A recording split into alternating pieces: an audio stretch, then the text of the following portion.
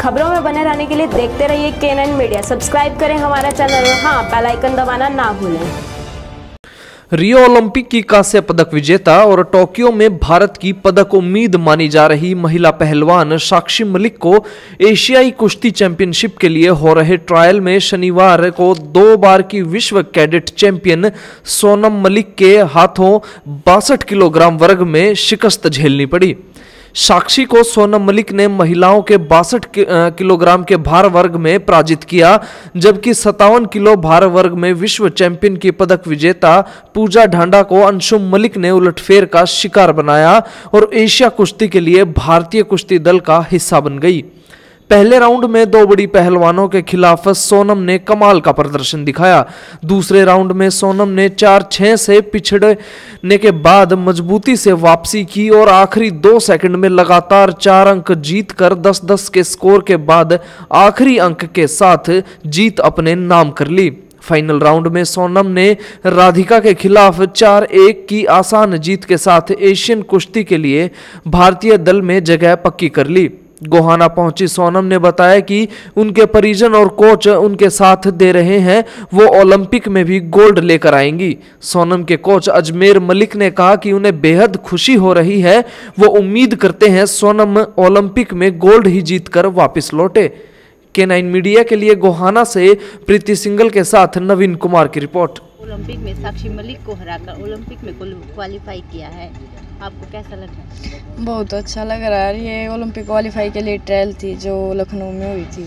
उसमें साक्षी को रहा है आप अपनी जीत का श्रेय किसको देना चाहेंगे? मैं अपनी जीत का श्रेय अपने कोच और पेरेंट्स को ही देना चाहूँगा। आपने कभी सोचा था कि आप ऐसा कर सकते नहीं हमारे जैसे कंपटीशन होते थे। हम कैम में पहले मैं कैम में रहा उनके साथ। तो कभी कभी टेक्निक होती थी पर ये नहीं पता कभी वैसे वेट में थे बाउट तो होनी थी पर इतना ऐसा लड़ जाऊँ ऐसा पता ही नहीं था। आपको यहाँ तक पहुँचने में किन किन कठिनाइयों का सामना करना पड़ा? नहीं पापा भी पहले रेसलिंग करते थे और यहाँ सर ने रिटायर होके आर्मी में थे सर यहाँ अकेडमी खोली तो पापा और सर दोस्त थे तो पापा रेसलर थे तो पापा का मन था कि मैं रेसलिंग करूँ। यहाँ तक पहुँचने में आपकी फैमिली ने आपको पूरी तरह से हाँ पूरा सपोर्ट किया। क्वालिफाई किया इसके विषय में आप क्या जी क्वालिफाई के लिए ये ट्रायल थी वहाँ पर लखनऊ।